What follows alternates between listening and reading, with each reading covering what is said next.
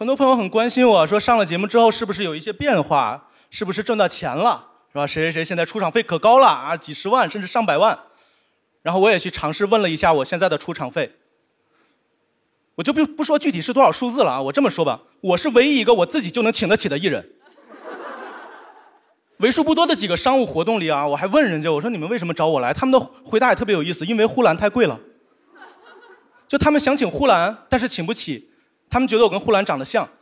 就好像他们进了一种那种艺人的销售网站，打开呼兰的购买界面，点击放到购物车结账的时候，发现余额不足，于是退回购买页面，发现下边写着一行“猜你喜欢”。